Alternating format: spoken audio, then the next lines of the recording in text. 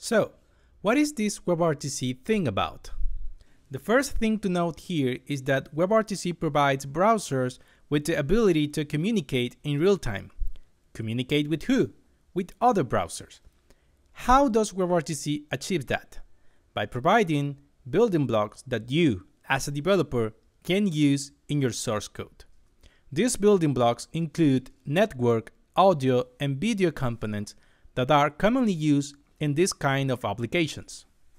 So, in other words, WebRTC allows to build real-time communication applications for the browser. Now, how is WebRTC different from some popular social apps such as Skype or FaceTime? Well, the difference is that WebRTC provides those features without requiring users to install any additional plugin or software other than the browser. So, how does it work? Essentially, these components are implemented in the browser and can be accessed through JavaScript APIs. The WebRTC effort is being standardized on an API level at the W3C and at the protocol level at the IETF, and is supported by Google, Mozilla, and Opera. So let's talk about these JavaScript APIs. The first one is Get User Media.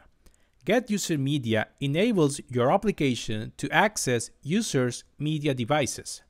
The user will see a prompt asking for permissions, and after granting them, the streams of such devices will be available to be used from the code. Here you see an example of how the Get User Media API is used in JavaScript code. The second API is RTC peer connections.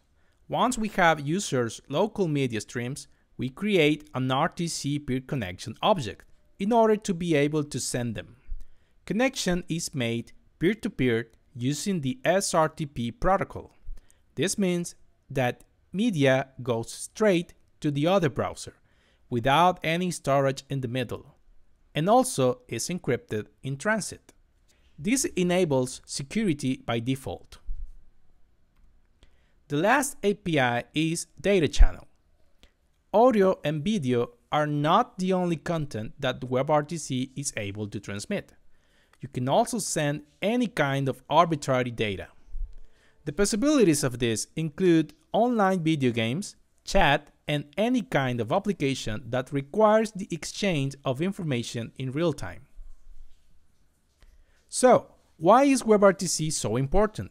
The first reason is that it enables communication in the browser, and right now there is no other technology capable of doing such a thing. At least not without having to install any additional software or plugin.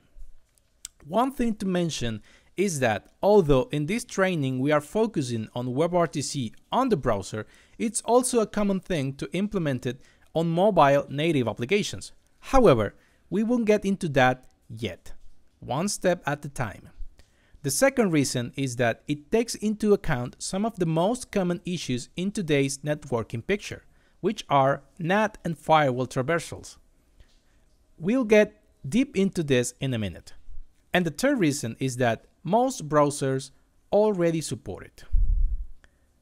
Now, the next thing that we are going to talk about is how WebRTC works in the real world. When you're ready, move to the next lesson.